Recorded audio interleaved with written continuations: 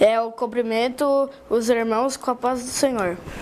Hoje eu quero deixar uma palavra aqui para o seu coração de Deus. É, em capítulo Provérbios, capítulo 20, versículo 1. Quem bebe demais fica barulhento e caçoa dos outros.